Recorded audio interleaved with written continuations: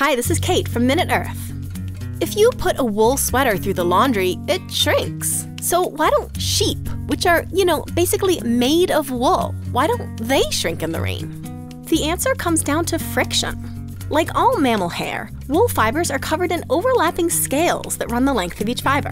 These scales make it easier for the fiber to slide in one direction than the other, which is why if you grab a strand of your hair and pull it through your fingers, you'll find it moves more smoothly going toward the tip than toward the root end.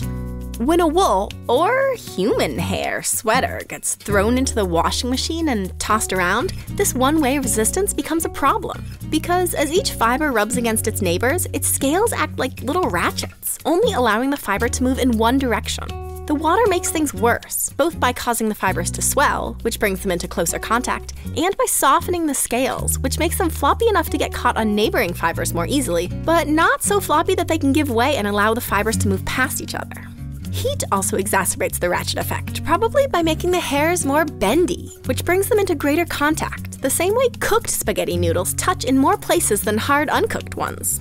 Throughout the course of the wash and dry cycle, the millions of tiny ratchets on the thousands of individual fibers in the wool sweater draw the fabric into a tighter and tighter configuration, shrinking the overall size of the sweater.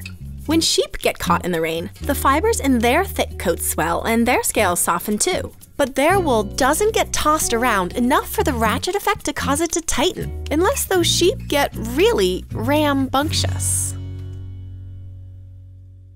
Thanks for watching. The idea for this video actually came from a viewer. Thanks, Rebecca. We love hearing from you, and one of the best ways to weigh in on what we do is to join the Minute Earth Patreon community, where you can let us know what you are curious about and ensure that we're able to keep making videos. Don't be sheepish. Come join us at patreon.com slash minuteearth.